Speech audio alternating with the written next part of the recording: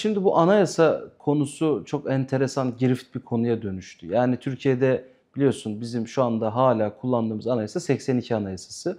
Ee, ama teoride 82 anayasası. Yani 82 anayasasını biz o kadar çok değiştirdik ki ki o büyük değişiklikler 2010 referandumu ve 2017 anayasa referandumu ile birlikte aslında anayasayı biz de yine ara ara böyle bazı maddelerde değişiklikler yaparak delik deşik ettiler adeta anayasamızı. Ve anayasanın ruhuna baktığın zaman, anayasanın söylediğine baktığın zaman Türkiye Cumhuriyeti devlet yapısına ve vatandaşına zararı olabilecek bir anayasa ortada yok. Ama işte AK Parti sürekli bu anayasa gündemini masaya getiriyor. Isıtıp ısıtıp önümüze koyuyor. Burada başkaca bir meselenin olduğunu anlamamız lazım. En temel hikaye bu. Şimdi Türkiye'de vatandaşın derdi anayasa mı yoksa vatandaşın derdi geçim problemi mi? Vatandaşın derdi açlık mı, sefalet mi, yoksulluk mu? Hükümetin içine baktığın zaman anayasaya ilişkin bit kanat diyor ki birinci maddeden ki Hayati Yazıcı Genel Başkan Yardımcısı birinci maddeden son maddesine kadar anayasayı ele alacağız.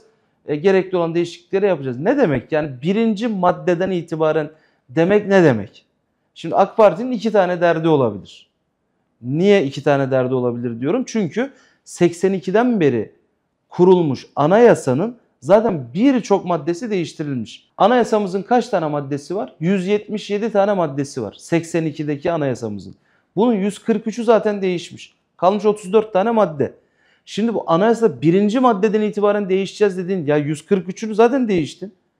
Kaldı geriye 4 tane madde aslında. Anayasanın değiştirilmesi, teklif dahi edilememesi gereken 4 tane madde. AK Parti'nin hükümetin bununla bir derdi olabilir. Öte yandan şöyle bir şey de yapıyor olabilir. Bu da çok kritik bir burada bir oyun. Şimdi AK Parti %50 artı 1'i artık alamadığının, alamayacağının büyük oranda farkında. E bakıyorsun muhalefet de aslında %50 artı 1'i yakalama konusunda endişeli. Çünkü onlar için de çok zor bir hedef. Dolayısıyla burada çıkarların uyuştuğu, çıkarların birbirine örtüştüğü bir sonuç ortaya çıkıyor. Ne bu? Ya biz bu %50 artı 1'den kurtulalım. Şimdi Cumhurbaşkanı şunu yapabilir. Biz %50 artı 1'den kurtulmak için muhalefete bir parlamenter sisteme dönüş havucu uzatabilir. Muhalefet de kendisi de 50 artı 1 yakalayamadığını bildiği için ya bak biz parlamenter sisteme dönüş için anayasa değişikliğine evet diyoruz diyerek o havucu yiyebilir. Ve Cumhurbaşkanı aslında kendi iktidarını devam ettirebilmek için anayasa değişikliğine muhalefetle birlikte adım atabilir.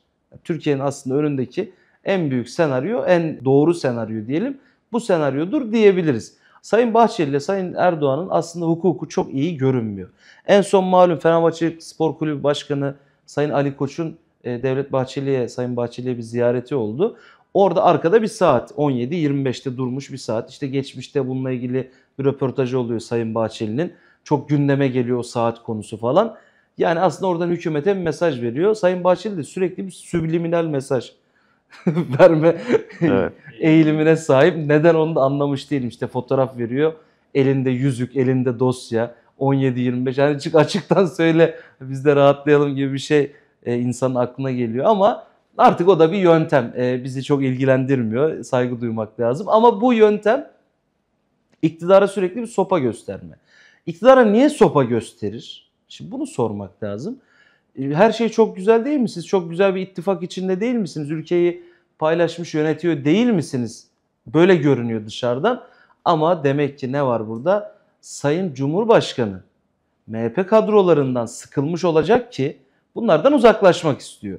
Hani buna amiyane tabirle paçayı kurtarmak istiyor diyelim. Her paçayı kurtarmak istediğinde bir adım atma çabası ortaya çıkınca Sayın Bahçeli sübliminal bir mesajla karşımıza çıkıyor. Burada nasıl paçayı kurtarırsın sorusunun anayasa değişikliğiyle bağlantılı bir cevabı var. Nasıl paçayı kurtarırsın?